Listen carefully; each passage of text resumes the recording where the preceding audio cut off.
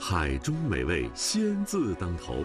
顶盖的蟹子、丰腴的贝类以及众多的鱼虾，都是大海的馈赠。得天独厚的海洋资源，造就了令人垂涎的海鲜盛宴。敬请收看《消费主张》。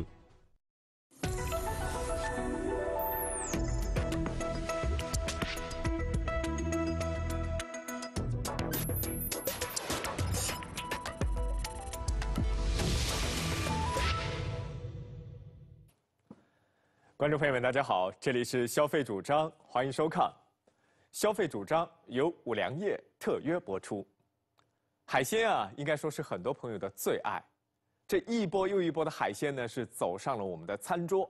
哎，顶盖的蟹子、丰腴的贝类、鲜爽的海参、弹口的鲍鱼以及众多的鱼虾，可以说这一切啊，都是大海给我们的馈赠。那接下来就让我们去各地的夜市上看一看这些海鲜。都有哪些吃法？霞浦县地处福建省东北部，是闽东建县历史最悠久的县份。霞浦海岸线长四百零四公里，居福建全省首位。来霞浦能够品尝当地的特色美食，也是众多游客选择霞浦的一个很重要的原因。我们这边的海鲜呢，都是滩涂海鲜，嗯，有小海鲜，还有我们现在品种是有一千多种，滩涂海鲜有七百多种。七百多种滩涂小海鲜究竟都是什么样子？它们味道如何？记者有些迫不及待了。呃，就是金华那边就是没有像这边这么多这么多选择，然后很多的话就是我们那边不怎么常见嘛，这边选择的比较多。最喜欢吃哪道菜？雪蛤。雪蛤是吧？嗯。它它哪点吸引你？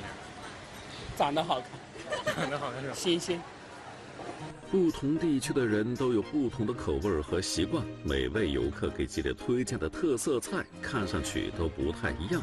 记者的好奇心被勾了起来。朱会长会给记者推荐什么样的招牌菜呢？这个这个是属于辣螺、骨螺，我们本地叫骨螺。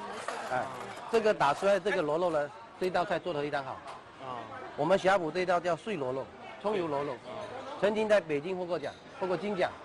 这道菜对，在美食大展大赛。作为北方人，记者一直对于吃螺这种美食比较头疼，因为把螺肉从壳里弄出来是一件很麻烦的事情。但是，等这道葱油碎螺肉端上来的时候，记者发现这个难题迎刃而解。这个是螺肉，葱油螺肉，所以这道的对你提前看到的就是呃打碎的那个，你可以尝试一下，来用你的这个就是螺打碎的，对。哎，一定要一定要一个汤汁加一点点的碎螺，一点点肉，一整一整勺一整勺，一整勺哎多一点，然后含在嘴巴，哎给它味道，然后把壳再慢慢吐出来，吃出它味道还有里面的肉，对，这是我们这里的一个吃法，就是比较鲜，哎，吃的就是它的味道。我首先讲下我的感受啊，啊，我以前很排斥吃这种螺肉，因为我不会，它不会特别不擅长往上挑，对，但是这个倒是很方便了。对对对，轻轻一吸，螺肉全都吃到嘴里。这个就是给懒人吃的这种做法啊，但是它很入味啊，这个很入味，主要是入味。对，所以它一定要带一点汤汁吃，然后跟肉咬在里面，跟我们嗑瓜子一样。中间葱给记者推荐的第二道菜，同样也是本地的特产，叫做黄瓜鱼。黄瓜鱼是霞浦本地的叫法，在其他地方也有叫做大黄鱼的。这个黄鱼是我们本地的特产，这个是吧？对，宁德是黄瓜鱼之乡，黄鱼之乡。啊，宁德，啊，那我们看上去好像跟黄鱼很黄鱼就是黄，我们就是黄鱼，对。那这个，这个非常也非常鲜美的，这种黄鱼非常贵。大的、小的价格应该差很多。呃，有一点差别，但是现在的黄鱼都是规模养殖的，它现在这边是特产。哦，这边是养殖的。养殖的，但是也有野生的，但野生是可遇不可求，也是很珍贵的。现在野生的黄鱼非常贵。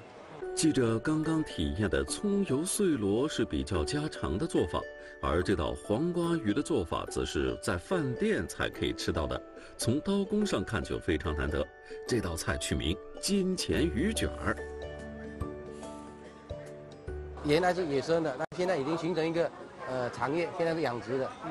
但是这个养殖这种黄鱼的话，它的跟别的鱼不一样，它主要是鲜美很嫩，它的肉很嫩。啊，有的鱼它是可能会有嚼劲比较。比较硬一点，它就非常嫩，这就是黄鱼的一个特色。我们以前知道野生黄鱼的价格都是动辄就是天价的。哎，对，像它一斤以上的黄鱼呢，野生的话，有的高的到卖到几千块钱，嗯，啊，两斤以上又不一样。哦所以它这个黄鱼，但现在野生的跟养的会，所以这个口感就不一样。人家就把它养的，但是它这个价格就不高了。嗯现在这已经是属于大众的消费了，嗯，都每每个人都会吃一起这。样一盘菜在这里卖多少钱？这盘这盘菜呢，在我们这边呢，六十八。钟金聪给记者推荐的第三道菜醉虾，则是把霞浦海鲜的新鲜度体现得淋漓尽致。这种白虾是养不大的，就这么大，啊，只能养这么大只能养这么大。然后这个这个就做成我们凉拌的拌白虾，那它和别的虾看着这个肚子都是透明的那种，哎这个是带子带子带籽的，带子的虾是最好的，不带子的虾还便宜，所以它有区别。那像这样的虾，在咱们本地大概呢市场价格哎，这个不是很贵，呃，市场价一斤在四十几块钱，哎，可以吃生的，可以吃就生吃的，对。钟金聪告诉记者，海鲜可以生吃，是对自己品质有极强信心才可以做到的，因为对于肠胃稍微不好的客人都是很大的挑战。只要吃它的一个呃，就活活活度，你看一下，它有的可能还会动，但是越腌久越味道越好。然后我们这边有一个带籽的小白虾，哎，这个带籽的是最好的。舟山市位于浙江省东北部，东临东海，西靠杭州湾。它港湾众多，航道纵横，是中国屈指可数的天然深水良港。沈家门夜排档的六十七家海鲜档口全部都没有名字，统一以数字进行区分，人声鼎沸，摊位绵延，与渔火交相辉映，是十里渔港一道亮丽的风景线。这个叫什么？这个我们俗名叫它小鲍鱼，又叫它胭脂，吸在石头上面，然后我们要把它抠下来，现在卖七八十块钱一斤。真的是第一次哎见。，对，它活的，哦，它还是活的。哎，呀，这一盘看上去黑乎乎的，卖相不是很好。这是什么？墨鱼蛋，一只墨鱼里面会有这样一颗蛋，这是我们正宗舟山泥螺，它有个特点，别看现在它长得挺大啊，等会放热水里一串，它马上就缩小了。这个见过吗？这是海里的草，啊，有一首歌叫做海草，海草，是说的这个海草。就是说的就是它，这就是海里的蔬菜，蝴蝶虾。哇，你看它长得像不像一只蝴蝶？两只蝴蝶，它在海里游动的速度也很快。这边的肉啊比较好吃，因为它经常在运动。除了这些小海鲜，摊位上还摆放着一些五颜六色、形状各异的鱼，都是些什么鱼呢？这个呢？鲳鱼，这个叫玉凸，像鞋底一样，你看哦，对，你看它扁平的，啊，然后这个面是有一点拉手啊。对对对对对刺，这一面就很平滑。，对，大概在五六十块钱一斤。这个鱼就比较贵了，嗯，叫红果梨，你看它比较肥，两百多块一斤了。这个是石斑鱼，又叫它老虎斑，你看它的纹路像老虎的皮一样，有斑纹。每到夜幕降临，沿海一公里长的海鲜排档摊点，慕名而来的品鲜客人络绎不绝。刚好有人说这边这个味道很好的，所以我们就慕名过来了。一直没有机会来，今天终于来了，感觉怎么样？还蛮开心的，东西也特别好吃。沈家门夜排档以海鲜为主，食材都是最新鲜的海货，保持海鲜的原汁原味儿是沈家门几十家夜排档共同的做法。舟山盛产各种螺类，烹饪它们的最好方法就是水煮，焯水之后直接享用。贻贝俗称蛋菜，是一种双壳类软体动物，适合蒸煮，做起来也是清清爽爽、简简单单。你会发现这个花螺和玉螺个头比较大一点，然后螺肉非常的有嚼劲儿，对对吃起来比较过瘾。黄螺它又叫辣螺，辣辣的口感。对对对呃然后芝麻螺最小呢，但是它也很鲜，只是用水煮了一下，保持了它原汁原味、原生态的这样一个口感。这个是贻贝，来掰开来，里面的肉是这种黄色啊，啊，像暗藏的珍珠一样，嗯，就这个吃法。一口咬掉，嗯，鲜，但是它比较软。葱油也是烹饪海鲜的一种常用手法。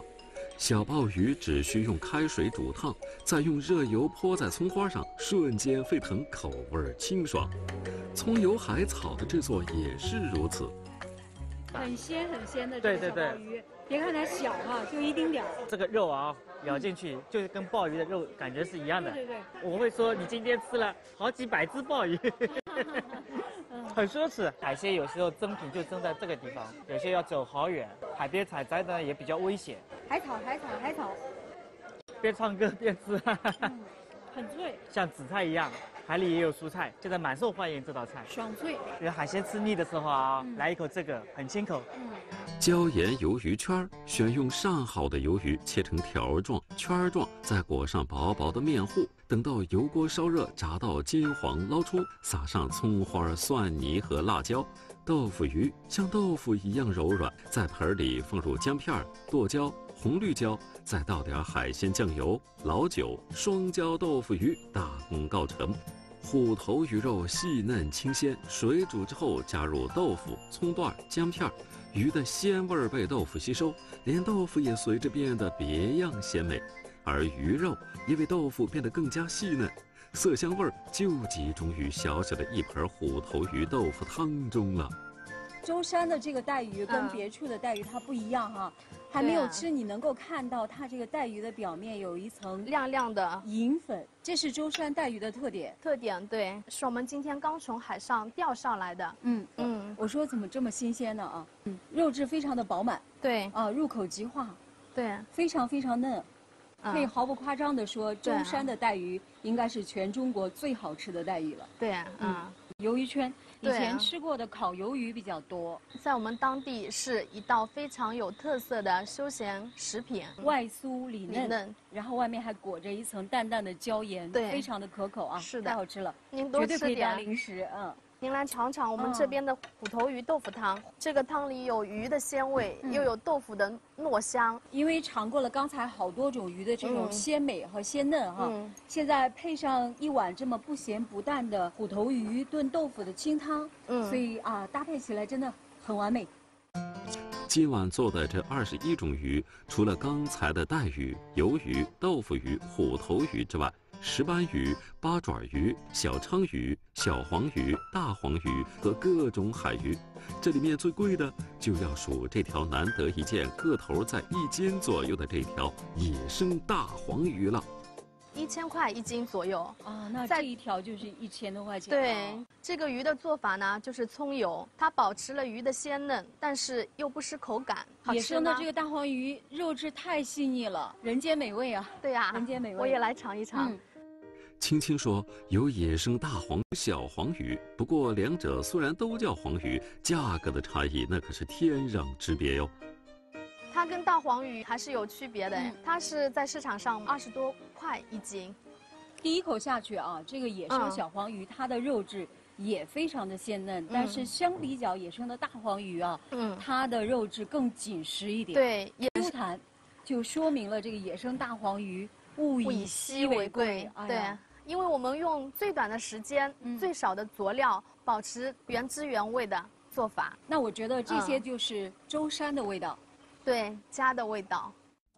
天津是一个被海河穿越的城市，这里的夜生活也就在海河边缓缓开启。我早就听说了，天津人是借钱也要吃海鲜，可是没有想到消消费水平还是蛮高的。那这个四百多的自助，为什么还有这么多人排队呢？它到底好在哪里呢？我们一起去看一看。帝王蟹任意吃。活波龙桌桌有，来自阿拉斯加的帝王蟹，来自加拿大的波士顿龙虾和象拔蚌，还有法国的生蚝和鹅肝，西班牙的红魔虾和五 G 火腿，甚至是泰国的榴莲和鳄鱼。这样国际范的海鲜自助，午餐的价格是三百九十八元，晚餐则高达四百九十八元一位，依然时常满座。这是为什么呢？因为这个体验是在家里自己吃不到的。因为种类多，你在家不可能一样都买一些。品种全，呃，而且新鲜。天津人对于海鲜的喜爱真是发自肺腑。记者很好奇，近五百元一位的价格，为什么有人说实惠？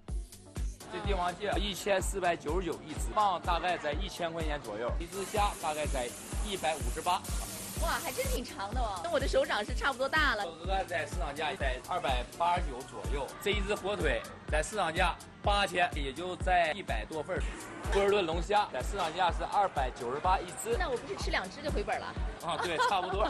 除了传统的海鲜自助，还有一种更霸气的海鲜吃法，在天津越来越流行。这个更鲜，比在北京吃的可能更好吃吧？我觉得，挺好吃的。这是海鲜大咖，别急，后面还有更霸气的呢。直径一米五，动用海鲜十六种，几十斤。这种巨无霸海鲜锅的名字叫海鲜巨咖，专门针对聚会而制作。二人份的价格是两千八百八十八元。热火浓酱，在厨师的翻炒后变成了一锅浓汤。很香的浓酱和热油浇在热腾腾的海鲜上，再经过微火加热。麻辣和鲜香混合在一起，刚一出炉就让人垂涎欲滴。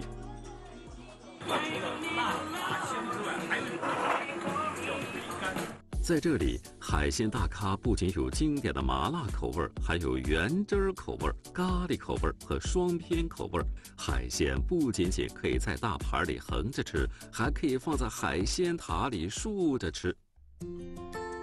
唐山地处渤海湾中心地带，位于河北省东部，在唐山的曹妃甸区。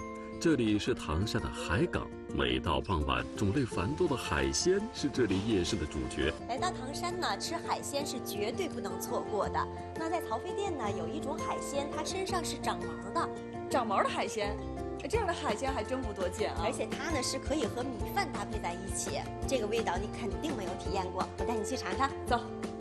这个外壳长着毛的贝类叫麻憨，里面的肉质发红，异常鲜美。吉娜说，它就是长了毛的海鲜，和米饭搭配在一起，是一道美食，叫麻憨子焖米饭。麻憨子焖米饭呢，精和量选用泥滩的，沙滩沙滩的是压沉，选用本地泥滩的以后，开盖开壳，炒锅的时候了，它把这个。一定要火要快，因为啥说呢？它火慢了，它爱老。倒的锅以后，尽可量别揭盖一揭盖麻憨子生，米饭不收，它不饱满。出来以后，石师傅做这道菜用的食材很简单：新鲜的麻憨，当地的大米，再加上点五花肉和蔬菜。锅内放入油，五花肉火煸出香味儿。接下来，去壳的麻憨的加入。能够迅速让锅内的味道变得丰富，鲜味儿和香味儿扑面而来。白菜经过翻炒，让普通食材进行了一次新的升华。把生的大米放入锅内，快速翻炒，让大米能够充分吸收麻憨鲜味儿和五花肉的香味儿。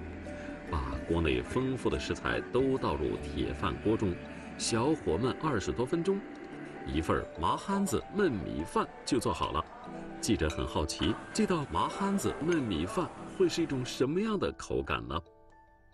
饭好像是个经过焖完之后的米饭，跟我们平时蒸的米饭真的口感不一样。对，它焖完之后，这个米饭的口感是软糯的，这个毛憨子里边这个鲜味全被米饭给吸收过来了。对对对。金娜告诉记者，在唐山曹妃甸区的夜市上，还有一种特色美食是一定要去尝尝的。唐山呢，它是一座沿海城市，尤其是在曹妃甸这一块儿，它有一种海产品，它长得特别可爱，也特别萌，就是特别爱生气。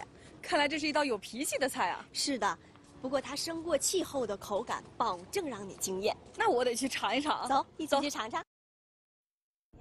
第二天一早，金娜带着记者来到一个小镇子上，寻找这个爱生气的美食，它就是河豚。唐山曹妃甸就是中国最早养殖红鳍东方豚的地方。曹妃甸的十里海河豚小镇是亚洲最大的河豚鱼养殖基地。一到傍晚，来到这里的食客必点的就是河豚了。这个红烧的吧，它注重的就是鱼的这个鲜美，然后肉质呢也特别筋道。鱼皮吧，对于女生来说，就是吃多了可以美美容。食客们点的最多的就是红烧河豚鱼。红烧河豚鱼要选择整条的河豚鱼，新鲜的河豚鱼、姜片、香叶等八种配料都是红烧河豚的标配。要想把这道菜做得美味，还要掌握两个关键的技巧。火候特别重要，刚开始一定要大火烧烫，把这个河豚鱼的胶原蛋白都炖出来以后，小火慢炖，把这个河豚鱼的这个肉质。变得软糯一点。热油下锅，把准备好的配料放入油锅爆香后，处理好的河豚鱼要整条下锅。要想让河豚的鲜香味更浓，还要加入提前熬制好的高汤，小火慢炖出软嫩的口感。半个小时过后，这道红烧河豚鱼就可以出锅了。吃皮有讲究啊，尤其吃红烧，嗯，也把它翻过来，滑滑的那面放入嘴里，因为它这个上面有小刺，但它这个皮是非常养胃的。它其实有这个刺的这个感觉啊，对，这个刺上去好像像按摩你的舌头一样。可能第一次吃的时候有点不太习惯，但是慢慢吃越吃越上瘾。好，接下来要提出我们今天的消费主张了。本期消费主张板块呢是由无限极独家冠名播出，养生固本，健康人生无限极。秋天啊是鲍鱼生长比较快的季节，这个季节呢鲍鱼的肉质非常的肥美鲜嫩。同时，到了十一月份呢，也进入到了海参大规模出生期，海参、鲍鱼都是哎这个秋季的进补佳品。那冬至前后呢，正好是带鱼最肥美的季节。这个时候的带鱼呢，它为了过冬啊，会给自己做很多准备。准备什么呀？就是体内积蓄了好多的脂肪，而这样的带鱼呢，它是肉厚油润，味道特别的好。而十一月份也是鲈鱼肥美的时候。这时候产的鲈鱼呢，肉质也是相当的肥美，而且还营养相当的丰富。另外呢，这个时候的鲈鱼呢，它有润燥和养胃的双重作用，是秋季滋补的首选。大口吃肉，大口喝酒，豪情万丈。东北的锅包肉，内蒙古的清炖羊肉，新疆的烤全羊，在这个寒冷的季节，大口吃肉才够爽。敬请收看消费主张，何以解忧？大口吃肉，哈哈，当然是对那些喜欢吃肉的朋友来说啊。大家可以想一下哈，当这个油脂啊转化为多巴胺在胃里徜徉的时候，哇，那种舒坦真的是语言难以形容的。东北的锅包肉、酱肘子，内蒙的清炖羊肉，江西粉蒸肉，哎，大口吃肉，冬天才够爽。那明天的节目里呢，我们将会去到各个夜市上体验一下无肉不欢的感觉。好，今天的节目就是这样。要了解更多精彩内容，欢迎大家下载央视财经客户端。朋友们，再见。